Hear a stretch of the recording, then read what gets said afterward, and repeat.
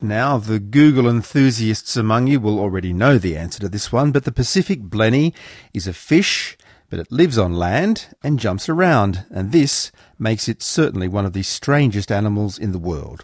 They're found on the island of Guam in the Pacific and offer scientists a unique opportunity to work out how animals transition from living in the sea to becoming land dwellers. Researchers at the University of New South Wales have been studying these strange fish to work out how they fend off their predators. Sarah Farnsworth spoke to Dr. Terry Ord, something of an expert on the matter.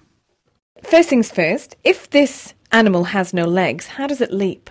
Uh, that's a really good question. So what they do is they bend their tails round and their tail fin they put flat to the ground and use as almost a suction pad and they leap like frogs.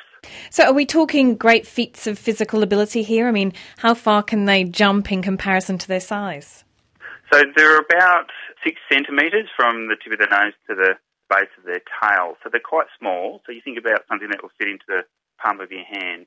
Um, but when they decide to jump, um, they can be going up to um, almost a metre. So that's actually quite a fair way for a little fish like that, particularly because it's on land as well, of course. My general understanding of a fish is that it has gills, fins, and it lives in water. So why is this species that lives on land still considered a fish? You know, if you were to see them and you actually see them in the water, like if you were to push them into the water, you would actually say that they were a fish. But um, when they're out on land, they still use their gills to breathe, just like a regular fish. Um, but they also use their um, skin, so they breathe through their skin, just like a frog does. And the consequence of that is um, they have to stay moist. So although they're out of the water, they need to stay in what we call a splash zone. So basically where the waves are still crashing up against the rocks. If they dry out, um, basically they uh, asphyxiate, so they suffocate. So looking at it in front of you, would you be able to see, oh yeah, that's a fish? Yeah, um, you probably mistake it as a fish-like slug, perhaps, crawling around and jumping around on the uh, on the rocks. Um, the locals on Guam, where the uh, the fish that we studied um, is found. They call them monkey fish, for example, and you would be doing a double take, and if you were to look closer, you would see that they were, you know, something definitely looking like a fish. So your latest research has concentrated on just how these um, blennies uh, protect themselves from predators. So uh, do, they, do they face like a double-edged threat from both uh, land and sea, and I suppose they could also face a threat from the air? Well, that's true. Um, so their primary problem, I guess, for being out on land is, is aerial predators. So in particular, things like seabirds.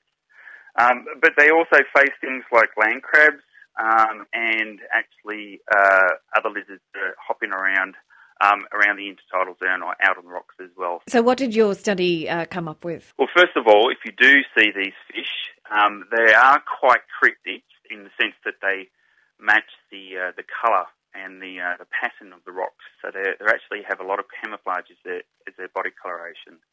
And what that means is is that they've evolved this colour pattern to try and avoid predation. So basically, just trying to not stand out as a food item. Uh, and what we found is is that this technique of being cryptic, as you would imagine, is highly specific to where uh, they happen to be found. So if they are out on the beach, they go from being very camouflaged on the rocks to being very conspicuous. What can this type of fish tell us about the theory that all animal life form originated in the water and then slowly came up on land?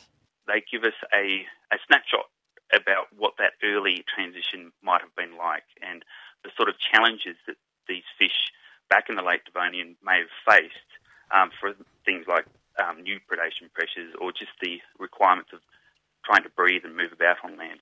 Well, that's Dr. Terry Ord with Sarah Farnsworth on the trials and tribulations of the Pacific blenny, a fish that looks like a slug, apparently.